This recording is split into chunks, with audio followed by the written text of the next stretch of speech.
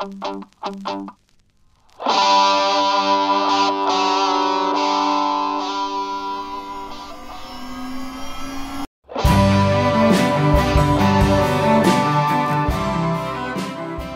I'm John Dickson with a brief Undeception single.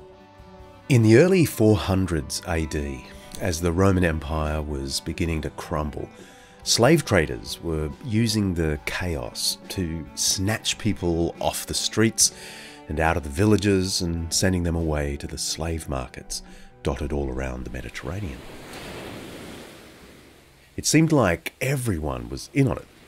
People were selling their family members to the traders just to make some quick cash. It reached fever pitch in about the 420s in the North African port town of Hippo Regius, modern Annaba in Algeria. From correspondence at the time, we learned that large numbers of men, women, and children were being kidnapped and on-sold through this port. We hear of a woman in Hippo who created a lucrative trafficking business by luring women from the wooded hill country of Gadaba, south of Hippo, on the pretext of purchasing timber from them, and then she would imprison them, beat them, and sell them on. One monk we know of from the Hippo monastery was abducted and sold as a slave. Another man, one of the church's own tenant farmers, whose job was to grow produce for the poor, sold his own wife into slavery. Bands of thugs roamed the countryside, abducting people and selling them to the traders. A letter from the time laments, quote, they seem to be draining Africa of much of its human population and transferring their merchandise to the provinces across the sea. The Christians of Hippo decided to do something about it in what has to be one of the gutsiest church outings in recorded history.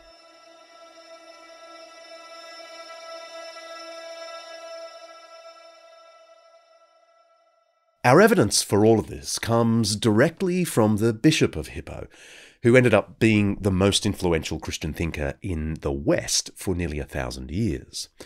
His name is Augustine, and he deserves an episode all of his own, but I want to focus just on one of his letters, a letter only discovered in the 1980s, by the way, which opens a remarkable window on some of the things Christians were trying to do in ancient times to undermine slavery.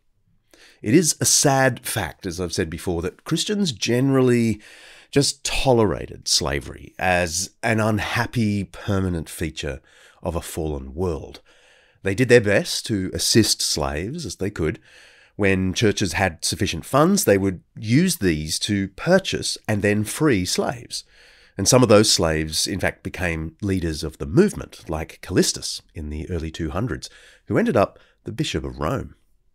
Mostly, though, churches resigned themselves to working legally within the system to buy people's freedom.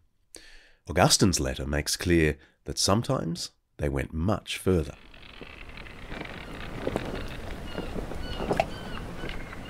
Augustine faced a special problem in Hippo. Slave traders, especially from Galatia in Asia Minor, what we call Turkey, were using his city as the main port to ship slaves out of North Africa to various destinations around the empire and beyond.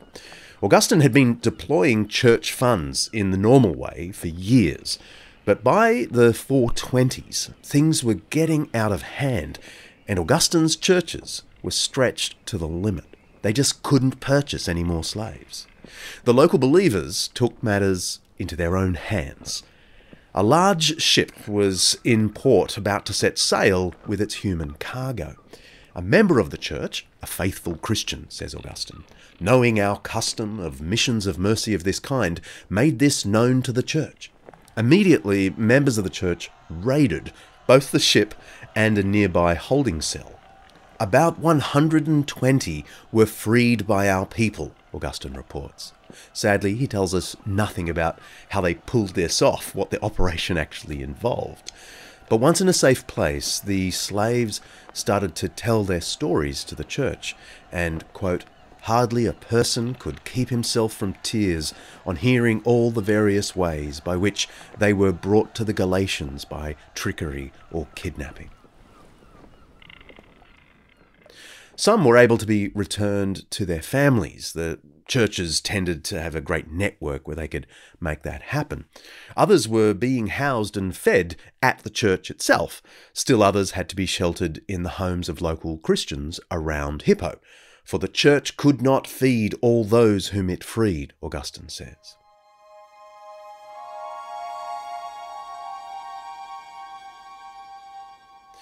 Augustine's fear at the time of writing was that things were getting tense in the city.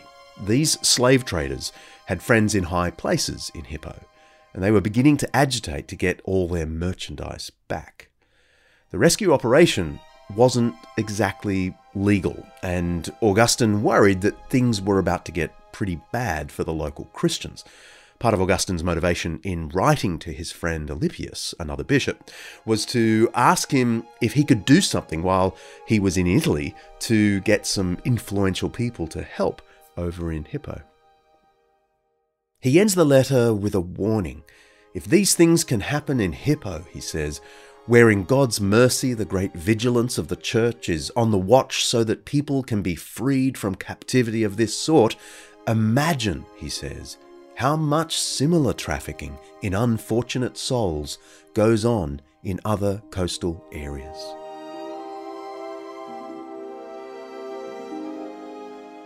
Augustine wasn't an abolitionist, I'm afraid to say. But he did use church funds, as I say, to free slaves and resettle them.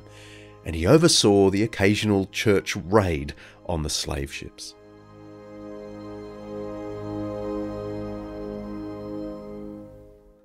I have a question as I read about what ancient Christians did to undermine slavery.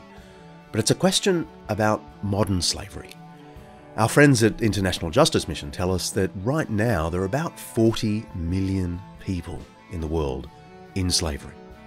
So my question isn't so much why weren't all the ancient Christians fervent abolitionists? My question is, am I doing as much now to end slavery as they did then? I doubt it.